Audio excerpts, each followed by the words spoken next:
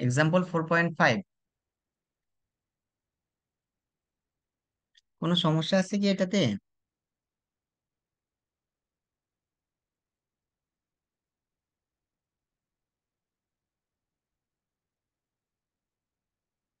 আচ্ছা দেখেন, তো এটা আমরা গত ক্লাসে দেখছিলাম যে a prestress concrete beam of section দুইশো মিলিমিটার তিনশো মিলিমিটার দুইশো মিলিমিটার ওয়াইড এবং তিনশো millimetre deep is used over an effective span of six metre তার মানে মানে এটা হচ্ছে যে যে বিমটা এটা হচ্ছে ছয় মিটারের মানে সিক্স মিটার সাপোর্টেড আচ্ছা six metre simply supported then support and impose load four kilometre per metre তার মানে এখানে একটা লোড দেয়া আছে এক্সটার্নাল একটা লোড দেয়া আছে ফোর কিলোমিটার পার মিটার আচ্ছা তো আমাদের যেটা বের করতে হবে দ্য ডেন্স আচ্ছা ডেন্সিটি অফ দ্য কংক্রিট কংক্রিটের ডেন্সিটি দেয়া আছে চব্বিশ কিলোনিউটন পার মিটার কিউব তাহলে এই যে ডেন্সিটি কেন দেয়া আছে? যাতে করে আমরা ডেড লোডের মানটা বের করতে পারি। এখানে যে ইম্পোজ লোড যেটা দেওয়া আছে, সেটা তো লাইভ লোড তাই না? তো এখানে ডেন্সিটি দেয়া আছে, তার মানে আমরা হচ্ছে যে কংক্রিটের যে এরিয়া এরিয়াকে ক্রস সেকশনাল এরিয়াকে যদি আমরা ডেন্সিটি দ্বারা গুণ করি, তাহলে আমরা লোড পাবো ডেড লোড পাবো।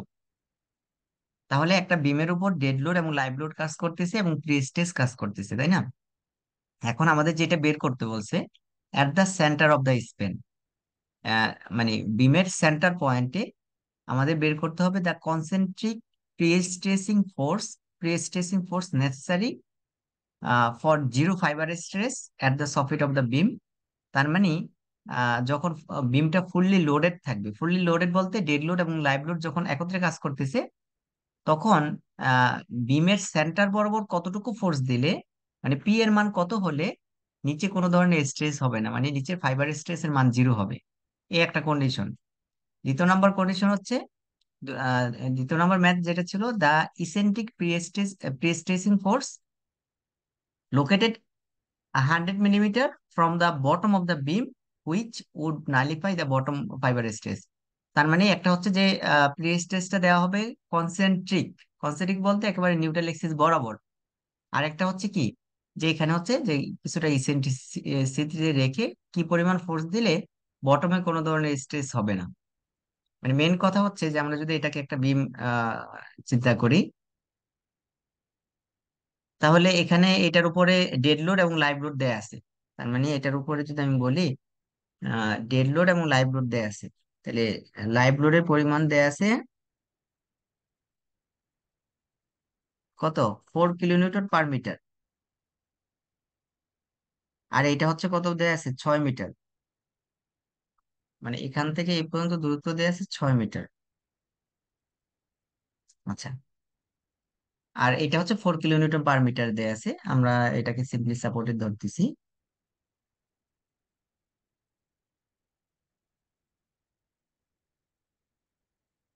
সিম্পলি সাপোর্টেড বিম আচ্ছা তাহলে এটা হচ্ছে লাইভ লোড দেয়া আছে। তো এখান থেকে লাইভ লোড যে দেয়া আছে, এখান থেকে কি আমরা লাইভ লোড মুভমেন্টের মান পাবো না? তাহলে এটাকে এম এল এল বা লাইভ লোড মুভমেন্ট দ্বারা রিপ্রেজেন্ট করতেছি। এটার মান কত হবে? যেহেতু সিম্পলি সাপোর্টেড তাহলে W L square by eight তাই না? এখানে ডব্লিউর মান কত? এই যে ডব্লিউর মান ফোর দেয়া আছে, আর এল এর মান দেয়া আছে সিক্স মিটার এর উপরে স্কোয়ার ডিভাইড বাই এইট তাহলে এটা করলে আমরা লাইভ লোড একটা মুভমেন্ট পাচ্ছি। তাই না? সামথিং একটা মুভমেন্ট পাচ্ছে লাইভ লোড মুভমেন্ট আচ্ছা দেন এখানে এটার কংক্রিটের ডেন্সিটি দেওয়া ছিল চব্বিশ কিলোনিউটন পার মিটার কিউব তাহলে বিমের যে সেকশন দেয়া আছে, আমরা যদি বিমের পুরো সেকশনটা আঁকি, তাহলে মনে করেন এরকম করে একটা সেকশন দেয়া আছে। সেটা হচ্ছে এদিক থেকে এদিকে দেয়া আছে দুইশো মিটার এখানে দেয়া আছে হচ্ছে তিনশো মিটার তিনশো মিলিমিটার তার মানে এই ভ্যালুটা হচ্ছে দুইশো মিলিমিটার।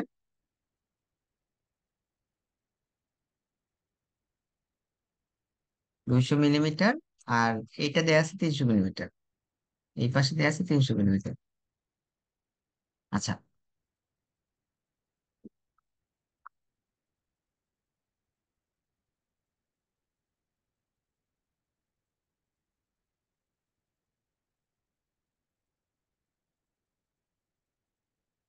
একটু এদিকে চাপাই দিলাম। আচ্ছা তাহলে এদিকে দুইশো এবং তিনশো মিলিমিটার দেয়া আছে। তাহলে দেখেন এটার আমরা টোটাল এরিয়া বের করতে পারব না। তাহলে এটার এরিয়া কত হবে? আমরা যদি বলি এরিয়াটা হচ্ছে আমরা যদি মিটারে কনভার্ট করে নিই, তাহলে পয়েন্ট টু মিটার একদিকে আর হচ্ছে পয়েন্ট থ্রি মিটার তাই তো? এটা হচ্ছে কি ক্রস সেকশনাল এরিয়া পাচ্ছি। দেন এটাকে যদি আমরা ইউনিট ওয়াইজ দ্বারা গুণ করি, তাহলে আমরা লোড পেয়ে যাচ্ছি যে এটার লেন বরাবর কত কি ফিট লোড কাজ করতেছে। তাহলে এই লোডের মান কত আসে? খুব সম্ভবত গত ক্লাসে আমরা যেটা বের করছিলাম one point four four kilo newton per metre তাহলে এখানে ডেড লোডের মানটা লাইভ লোডের মান তো ফোর লাইভ লোডের মাধ্যমে আমরা যে ডব্লিউ এল বাই ফোর করে এম লাইভ লোডের মানটা পেয়েছি। এখন ডেড লোডের মানটা এখানে ওয়ান পয়েন্ট ফোর ফোর তাহলে one point four four kilometre যদি কাজ করে কিলোমিটার পার মিটার কাজ করলে এখান থেকে আমরা হচ্ছে এম ডেড লোড বা এম ডি দ্বারা রিপ্রেজেন্ট করতেছি ডেড লোড তাহলে ডেড লোডের একটা মুভমেন্ট পাবো।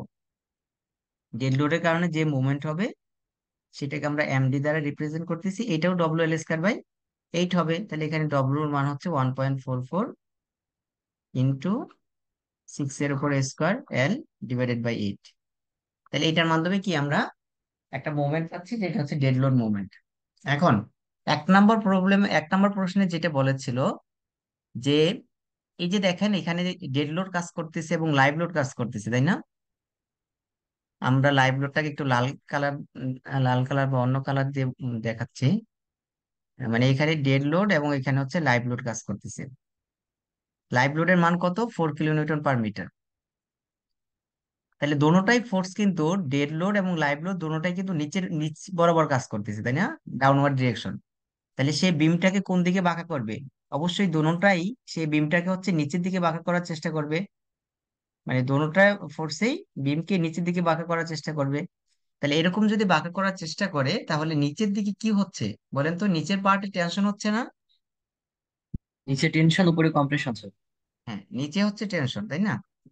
এখন আমাদের প্রবলেমে মানে যেটা বলা ছিল যে এ নাম্বার যেটা the concentric prestressing force necessary for zero fibre stress আমরা বলছি, এমন একটা প্রিস্ট্রেস ফোর্স দিতে বলছে, যাতে করে এখানে কোনো ধরনের টেনশন না হয়। এবং ফোর্সটাকে ফোর্স প্রিস্ট্রেসিং প্রিস্ট্রেসিং ফোর্স যেটা দিব, সেটা বলে দেওয়া আছে কনসেন্ট্রিক তার মানে আমরা এটা একটু ভিন্ন কালার দিই। ধরেন এটা নিউট্রাল এক্সিস নিউট্রাল এক্সিস এই বরাবর। তো নিউট্রাল এক্সিস বরাবর যদি আমরা কোনো একটা ফোর্স দেই প্রিস্ট্রেসিং ফোর্স নিউট্রাল এক্সিস বরাবর আমরা ফোর্স দিচ্ছি। তাহলে নিউট্রাল এক্সিস বরাবর যদি প্রিস্টেজ যে কতটুকু প্রিস্টেজ ফোর্স দিলে মানে যে ফোর্সটা হচ্ছে কি, নিউট্রাল এক্সিস বরাবর আমরা দিচ্ছি, এরকম কতটুকু পি এর মান কত হলে নিচে কোনো ধরনের টেনশন কাজ করবে না। প্রশ্নকে, প্রশ্নটা কি বোঝা গেল? আমরা মানে কি করতে চাচ্ছি? যে এখানে একটা প্রিস্টেসিং ফোর্স দেয়া আছে কনসেন্ট্রিক তার মানে কোনো ইসেন্ট্রিসিটি নাই। তখন এই কন্ডিশনে পি এর মান কত হবে যদি আমরা নিচের দিকে কোনো ধরনের টেনশন না থাকে? বটমে বলছে। তাহলে আমরা এটা কি করতে পারি? এটার জন্য যে ইকুয়েশন ইকুয়েশনটা আমরা লিখতে পারি। ইকুয়েশনটা কি? আচ্ছা।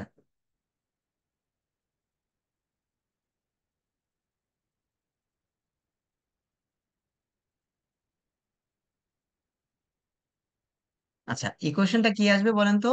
আমরা বটমের জন্য লিখতেছি, তাই না? তাহলে এফ বি দ্বারা রিপ্রেজেন্ট করতেছি। F B is equal to এই কন্ডিশন যদি হয়, যে এখানে হচ্ছে পি ফোর্স প্রিস্ট্রেসিং ফোর্সের কারণে পি ফোর্স মানে পি ফোর্স দ্বারা কম্প্রেশন দিচ্ছে। তাহলে কি হবে? কম্প্রেশনকে যদি আমরা পজিটিভ ধরি, তাহলে পি বাই এ তাই তো? দেন আরেকটা হচ্ছে কি? পি এর আরেকটা পার্ট থেকে P e C divided by I তাই না?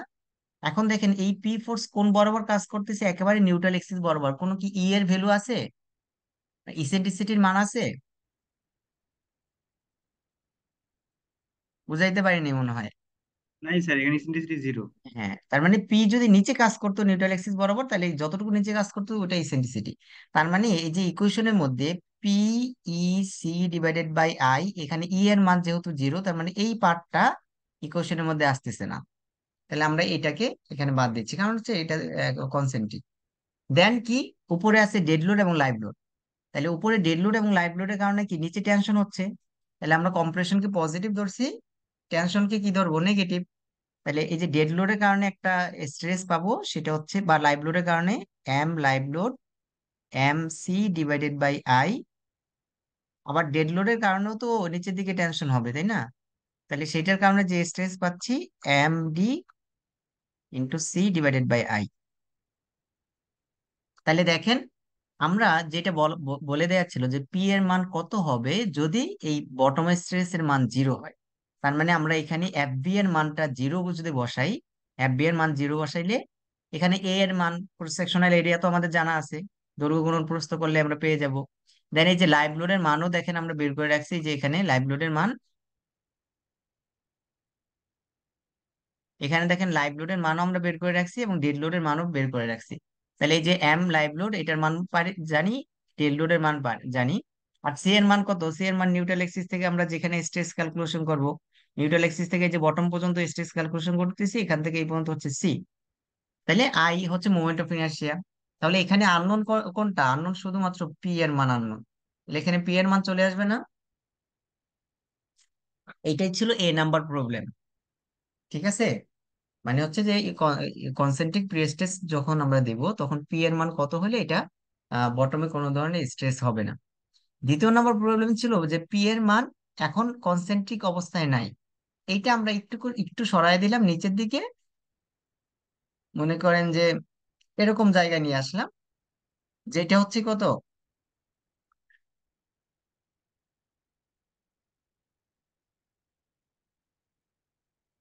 আচ্ছা আমিও রেকর্ড করতেছি, সমস্যা নেই, আমি দিয়ে দিব রেকর্ডিং আচ্ছা।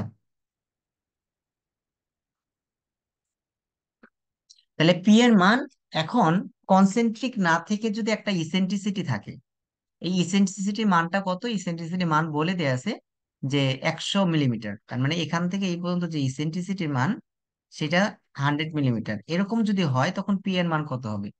তাহলে কি, এই ইকুয়েশনের মধ্যে শুধুমাত্র আরেকটা পার্ট অ্যাড হবে। কতটুকু পার্ট হচ্ছে? অ্যাড হচ্ছে এই যে P by A compression then হচ্ছে এই পি এর কারণে যে উপরের দিকে বেন্ডিং হবে প্রিস্ট্রেসিং ফোর্সের কারণে, তার মানে হচ্ছে নিচের পার্টে কি হচ্ছে? কম্প্রেশন হচ্ছে। তাহলে আরেকটা পার্ট আসতেছে plus P e C divided by I আর বাকি এই দুইটা তো মাইনাস আগের মতো করে মাইনাস থাকবেই। তার মানে তার মানে এখন যে দেখেন এখন ই এর মান জানা এখানে সি এর মান আই এর মান সব জানা তাহলে এই দুইটা এই সমীকরণ থেকে আবার যদি এফ বি এর মান আমরা জিরো বসাই তাহলে এখান থেকে আবার একটা পি এর মান পাবো। তাহলে এই পি এর মানটাই হচ্ছে সেকেন্ড অ্যান্সার ঠিক আছে?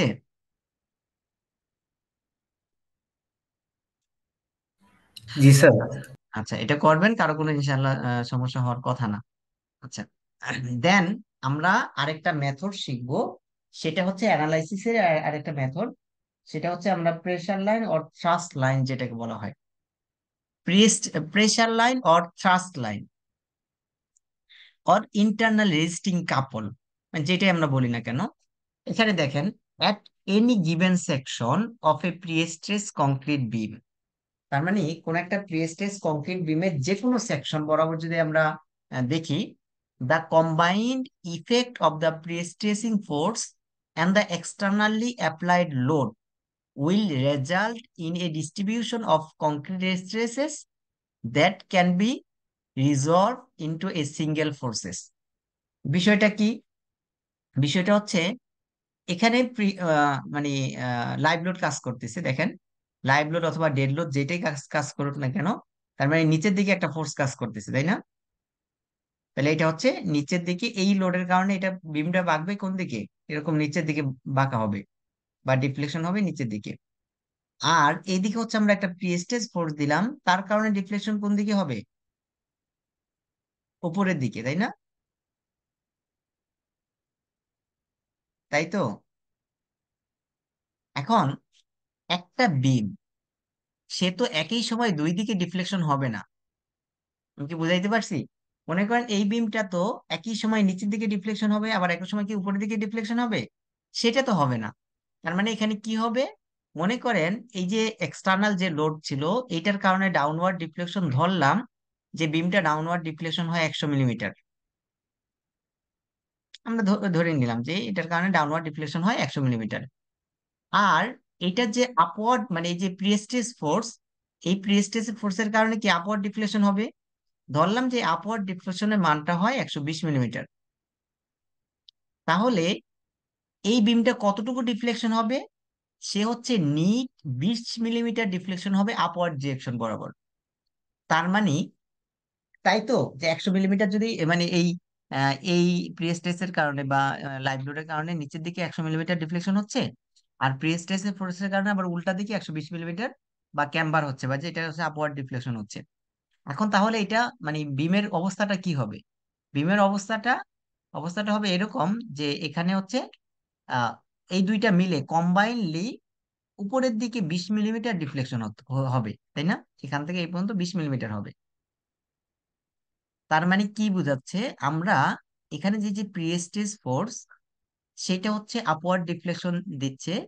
এখানে ইউনিফর্মলি ডিস্ট্রিবিউটেড লোড যেটা এক্সটার্নাল লোড যেগুলো কাজ করতেছে ডেড লোড লাইভ লোড যেটাই হোক না কেন, সেটা হচ্ছে তাকে নিচের দিকে ডিফ্লেকশন দিচ্ছে। তো এই দুইটা প্লাস মাইনাস করে একটা নির্দিষ্ট একটা আমরা ফোর্স একটা ডিফ্লেকশন পাচ্ছি। এখন ধরেন যে আমরা যে ডিফ্লেকশনের মানটা পাচ্ছি আচ্ছা আমরা যে ডিফ্লেকশনের মানটা পাচ্ছি, সেই ডিফ্লেকশনটা তো আমরা চাইলে কোনো একটা সিঙ্গেল ফোর্সের জন্য, কোন একটা সিঙ্গেল ফোর্সের জন্য সেই ডিফ্লেকশনটা আমরা বের করতে পারি। আমি হয়তো বা বুঝাইতে পারতেছি না, আমি বলতেছি আবার। ধরেন, উম আচ্ছা আমি এখানেই দেখাই কালারটা একটু চেঞ্জ করে দিতে হলে সুবিধা হবে।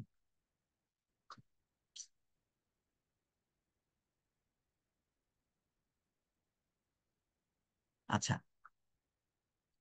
ঠিক আছে? তো আমরা ধর আমি আমি একটা অ্যাজাম্পশন ধরি। মনে করেন যে এখানে টোটাল লোড যেটা আছে, এই টোটাল লোড দেয়া আছে একশো নিউটন বা একশো কিলো নিউটন ঠিক আছে? আচ্ছা। আর এখানে পি ফোর্সের মান দেয়া আছে, ধরলাম যে পাঁচশো কিলো মানে পঞ্চাশ কিলো নিউটন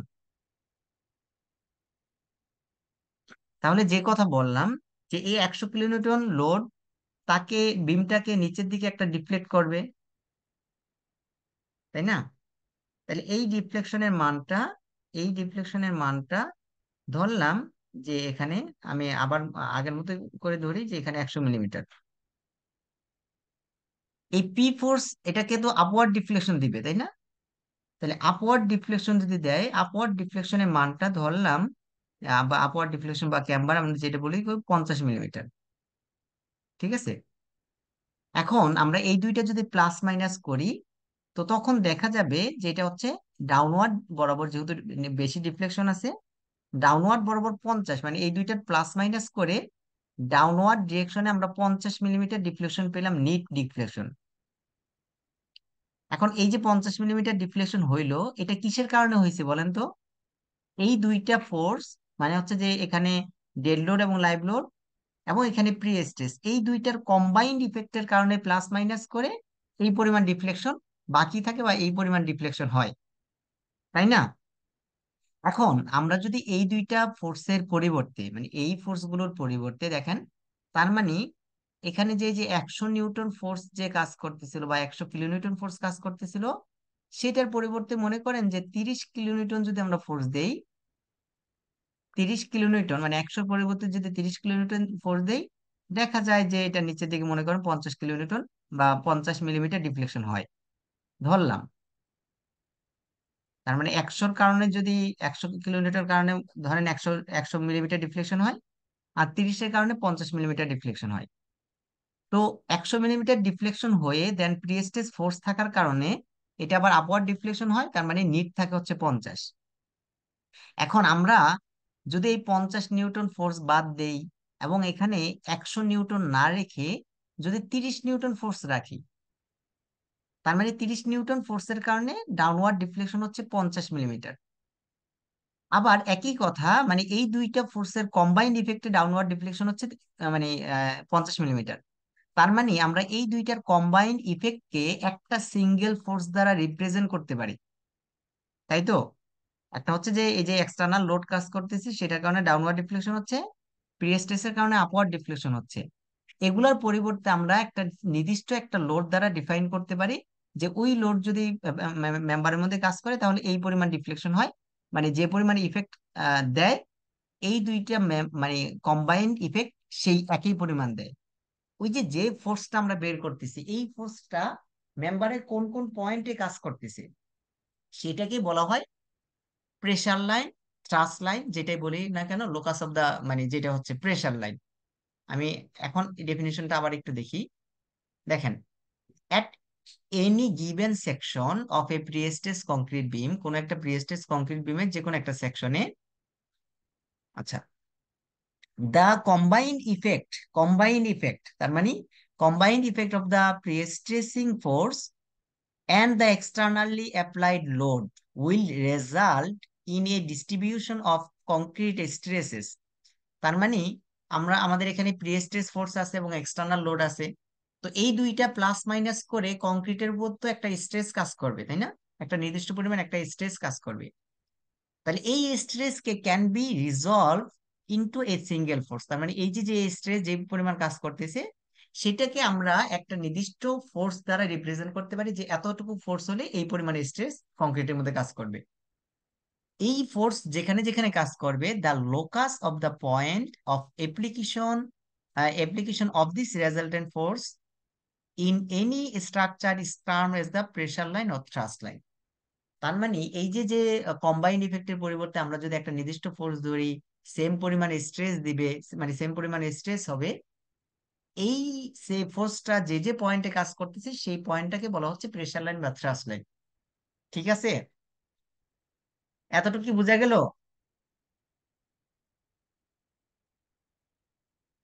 আচ্ছা আমি একটা ইয়ে আসি আর একটু ক্লিয়ার হবে।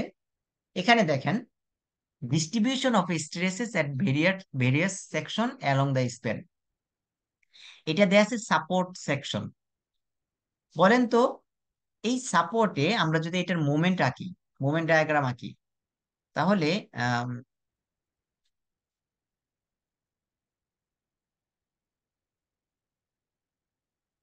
আচ্ছা আমি এটাকে একটু মুছে দিই।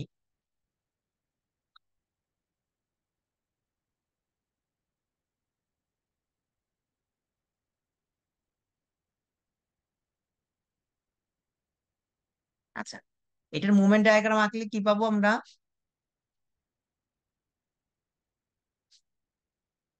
বলেন তো যে এই বরাবর যদি আমরা এটা বিএমডি ডায়াগ্রাম আঁকার চেষ্টা করি, তাহলে যেহেতু ইউনিফর্মলি ডিস্ট্রিবিউটেড লোড আছে, তার মানে মানটা মানে মুভমেন্টের ইকুয়েশনটা হচ্ছে এরকম। তাহলে এই মাঝখানে পয়েন্টে কত হবে? মুভমেন্টের মান maximum W L square by eight তাই না? বলেন তো, এই সাপোর্টে মুভমেন্টের মান কত? জিরো না? এই সাপোর্টেও মুভমেন্টের মান জিরো তাহলে এখানে যে এই বিমের উপর যে স্ট্রেস হবে মানে আমরা যদি এই সেকশনে মানে এই সাপোর্ট সেকশনে এই পাশে অথবা এই পাশে, তাহলে এখানে যদি ইকুয়েশনটা লিখি, মনে করেন যে বটমের জন্য ইকুয়েশন লিখতেছি অথবা টপের জন্য, আমরা এফ বি এর ইকুয়েশনটা লিখলাম এফ বি এফ বি এর ইকুয়েশন লিখলে কি থাকবে? পি বাই এ এখানে তো প্রিস্টেজ ফোর্স আছে পি বাই এ পজিটিভ তাই না? প্লাস আবার P e C divided by I এটাও পজিটিভ বটমের জন্য লিখতেছি। প্লাস এখানে যে পরিমাণ মুভমেন্ট আছে, এটাকে আমরা টোটাল যে ফোর্স আছে ফোর্সের কারণে যে মুভমেন্ট হবে, এই মুভমেন্টটাকে আমরা এখানে মানে ডেড লোড এবং লাইভ লোড মুভমেন্টটাকে টোটাল মুভমেন্টটাকে লিখতেছি। তো এটার কারণে বটমে কি হবে? টেনশন হবে নেগেটিভ তাহলে minus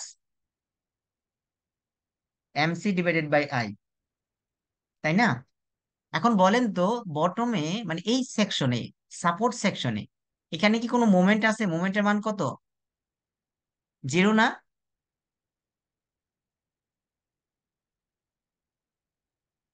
আপনারা বুঝতেছেন কি? জি স্যার বুঝতেছি। আচ্ছা একটু রেসপন্স করেন। তাহলে সাপোর্টে হচ্ছে মোমেন্টের মান জিরো তার মানে এই মোমেন্টের মান যদি আমরা জিরো বসাই এখানে টোটালটাই কি টেনশন থাকতেছে না?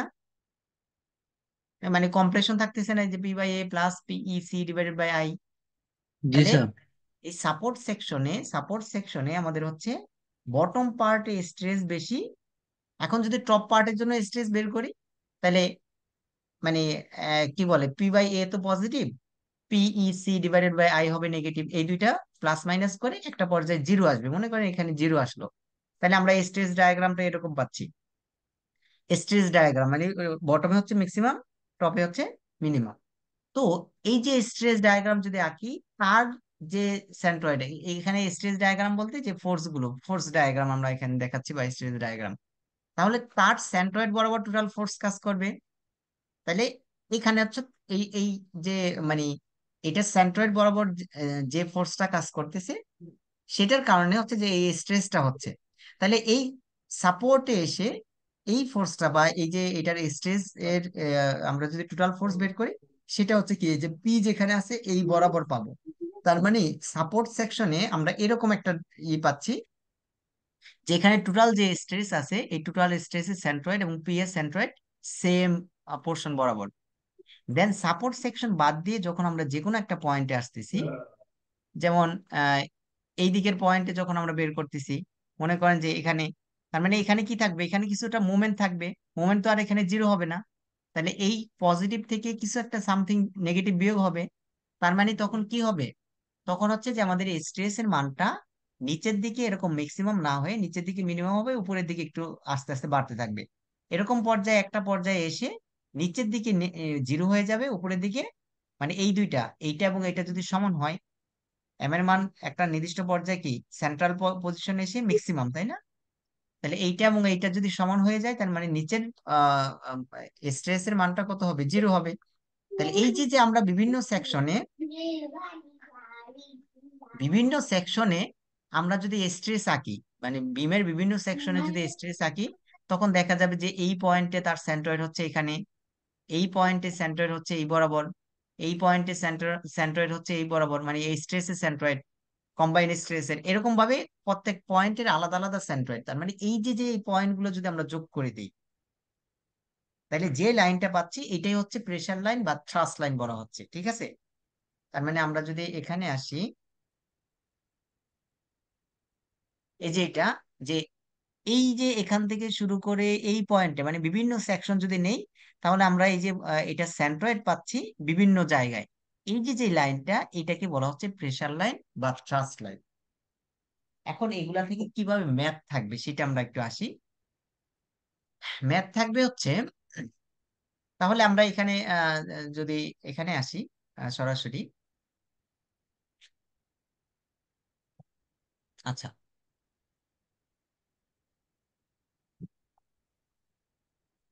ঠিক আছে। তাহলে এখানে দেখেন আমরা এখানে কয়েকটা কন্ডিশন ধরা হয়েছে, যে এদিকে হচ্ছে প্রি স্ট্রেসিং ফোর্স কাজ করতেছে, আর উপরে যদি ডব্লুর মান জিরো হয় মানে উপরে যদি কোনো ফোর্স না থাকে, তখন কি হবে? উপরে ডব্লুর মান যদি জিরো হয়, তাহলে উপরে এটার কারণে কোনো মুভমেন্ট হবে কি? মানে উপরে তো কোনো ফোর্স নাই, তাই না? তাহলে এখানে মুভমেন্টের মান জিরো তাই তো? তার মানে এখানে হচ্ছে যে তখন টেনশনের মানও থাকবে না, এবং এখানে কোনো কম্প্রেশনের মানও থাকতেছে না। মানে এখানে উপরে কোনো ফোর্স নাই। মানে এই টেনশন কিন্তু আবার এটা মানে প্রিস্টেস ফোর্সের কারণে না। আচ্ছা দেন উপরে যদি আমরা বলি যে এখানে এই কন্ডিশনে কি? প্রিস্টেসিং ফোর্সও জিরো তাহলে প্রিস্টেস ফোর্স যদি জিরো হয়, এখানে মোমেন্টের মান জিরো হবে সবকিছু জিরো হবে আর কি। এখন যদি টি এর মান প্রিস্টেসিং ফোর্সের মান থাকে, তখন এই পয়েন্টে আমরা একটা মানে এদিকে টেনশন এবং এই পয়েন্টে একটা কম্প্রেশন পাচ্ছি, যে কম্প্রেসিভ ফোর্স সি এবং পি এর মান সমান। দেন যখন উপরে যখন লোড আসবে, তখন এই ইয়াটা কি হবে? এই পয়েন্টটা এই যে সি এর মানটা বা কম্প্রেশনের মানটা বা আমরা এটার ইয়াটা দেখলাম যে লোকেশন কি বলে কম্বাইন যে স্ট্রেস যেটা কাজ করবে, তার যে সেন্ট্রয়েড সেই সেন্ট্রয়েডটা একটু উপরের দিকে উঠবে, তাই না? উপরের দিকে আসবে। তার মানে আমরা এখানে দেখেন, এটার কম্প্রেশন বা কম্প্রেসিভ ফোর্স হচ্ছে এই পয়েন্টে টেনসাইল ফোর্স হচ্ছে এই পয়েন্টে এর মাঝখানে হচ্ছে লিভার আর্ম, এটাকে আমরা এ দ্বারা রিপ্রেজেন্ট করতেছি। তাহলে এখানে একটা আমরা কাপল পাচ্ছি, যে এখানে হচ্ছে টেনশন আর এখানে হচ্ছে কম্প্রেশন মানে একটা দ্বন্দ্ব পাচ্ছি। তো এইটার কারণে আমরা যে মোমেন্ট পাবো, এটার কারণে মোমেন্ট পাবো কত? টি গুণন এ তার মানে এই পয়েন্টে মোমেন্ট নিলে এই যে টি গুণন এ আবার এই যে টি পয়েন্টে মোমেন্ট নিলে সি গুণন এ তাহলে টি গুণন A is equal to C গুণন এ তাহলে এখানে টি এবং সি এর মান সমান। এই মোমেন্টটা এই যে টি এ এবং সি এ এইটা হবে এক্সটার্নাল মোমেন্টের সমান। মানে এক্সটার্নাল যতটুকু লোড আছে, এই লোডের কারণে যে মোমেন্ট সেটা হচ্ছে সমান। তার মানে এই যে সিটা হচ্ছে কি? সিটা হচ্ছে আমাদের প্রেসার লাইন বা থ্রাস্ট লাইনের যে লোকেশন সেটা বা যেটা লোকাস তার মানে আমরা কীভাবে বের করব? এখান থেকে আমরা এই যে এই ইকুয়েশনটা পাই, একটা হচ্ছে M is equal to C A is equal to T A is equal to P A যেভাবে আমরা রিপ্রেজেন্ট করি। এমটা হচ্ছে bending moment at the section due to dead load and live load তাহলে ডেড লোড এবং live লোডের কারণে যে মোমেন্ট হবে সেটা হচ্ছে এম ইটা হচ্ছে ইসেন্ট্রিসিটি অফ দ্য ট্যান্ডন ট্যান্ডনের যে ইসেন্ট্রিসিটি সেটা ই টি এবং পি এটা হচ্ছে prestressing force in the tendon তাহলে ট্যান্ডন ট্যান্ডনের কতটুকু প্রি স্ট্রেসিং ফোর্স সেটা। তাহলে দেখেন আমাদের যদি এ এর মান জানা থাকে এ এর মান জানা থাকে, তার মানে ট্যান্ডন যেখানে কাজ করতেছে, এই ট্যান্ডন থেকে কত উপরে আমাদের প্রেসারটা বা কম্প্রেসিভ ফোর্স কাজ করবে? ট্যান্ডন থেকে কত উপরে সেটার মান হচ্ছে এ তাহলে এ কে আমরা দুইটা ভাগে ভাগ করতে পারি।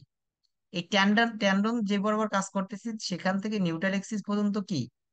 ই দেন নিউট্রাল এক্সিস থেকে এই যে সি পর্যন্ত দূরত্ব, সেটা হচ্ছে ই প্রাইম দ্বারা রিপ্রেজেন্ট করতেছি আমরা। তাহলে এই টোটাল এ কে আমরা লিখতে পারি ই প্লাস ই প্রাইম তাহলে দেখেন, আমাদের যদি এখানে ই এর মান তো জানা থাকে এ এর মানটা যদি কোনোভাবে জানি, তাহলে আমরা এখান থেকে এ এর মান থেকে ই বিয়োগ করলে আমরা ই প্রাইম পেয়ে যাচ্ছি মানে নিউট্রাল এক্সিস থেকে কত উপরে প্রেসার লাইনটা কাজ করবে। আচ্ছা আপনাদের মনে হয় যে বুঝতে কঠিন হইতেছে? আমি সরাসরি একটা ম্যাথে যাই, তাহলে আসলে ক্লিয়ার হয় বিষয়গুলো। তার মানে এখানে মেন বিষয়টা, এখানে কিন্তু ম্যাথ একেবারেই সহজ। দেখবেন যে কয়েক মিনিট লাগবে করতে আর কি।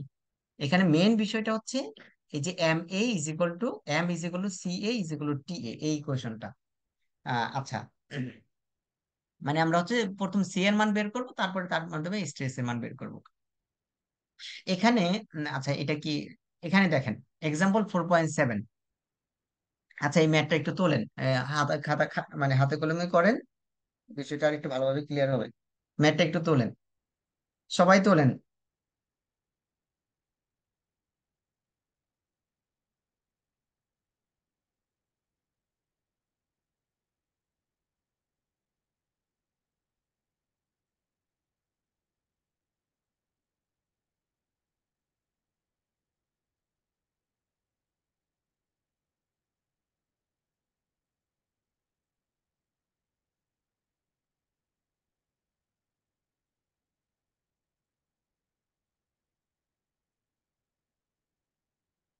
তোলা হইলে জানায়